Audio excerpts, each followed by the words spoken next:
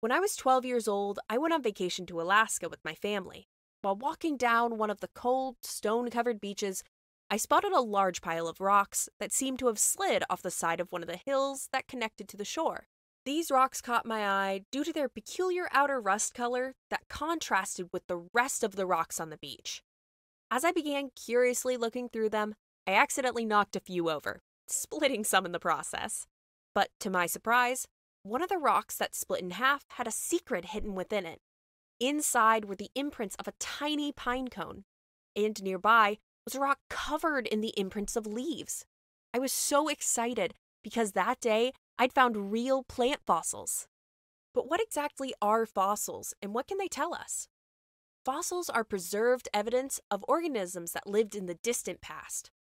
They can be made up of many different things, like bones, shells, plants, or even markings like footprints that tell us about an organism's behaviors.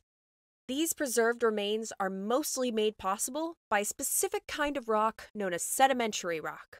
Sedimentary rock is formed from compressed layers of sediment, which is a mixture of rocks, minerals, and organic matter.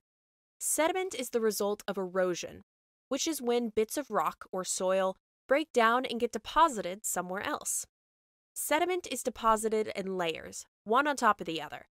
Over millions of years, these layers become compressed, eventually solidifying and forming sedimentary rock. But how do the fossils even get inside of these rocks? Well, let's look back at the fossil I found. If I had to guess, a long time ago, some leaves and a pine cone must have fallen to the ground and gotten covered in sediment. As more sediment layered on top of them, the plants pressed an imprint of their shape and patterns into the sediment. Over time, the sediment compressed into rock, and the original plant decayed, but its imprint stayed inside the rock. Then, finally, my fossil sat until I literally stumbled upon it.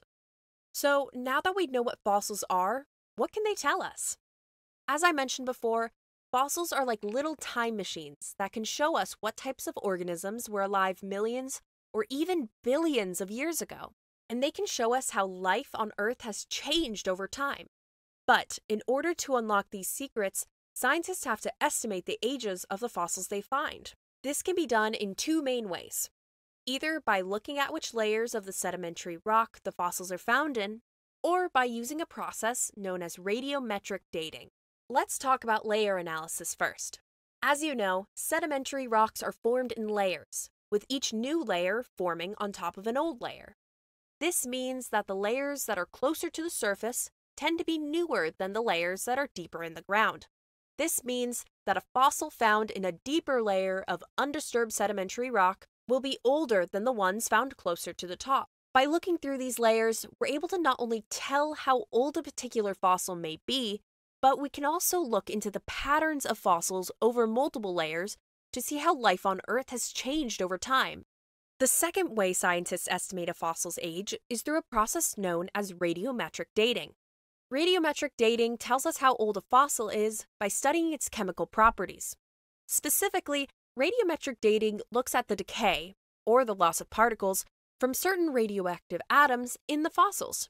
Scientists know how fast this decay happens, so by measuring the amount of decay that has occurred, scientists can estimate the age of the fossil. Once scientists know how old the fossil is, it can then be added to Earth's fossil record. Earth's fossil record consists of all the fossils found on Earth along with their relative ages, and it provides us with the big picture view of the history of life on Earth. And with that, you now know how fossils are formed and dated. Let's go back through the layers of this lesson and go over what we've learned today. Fossils are preserved evidence of organisms that lived long ago. This evidence of life is most commonly found in layers of sedimentary rock. Now, depending on how deep they are in the layers of sedimentary rock or their results from radiometric dating, fossils can be given an estimated age and be placed on Earth's fossil record.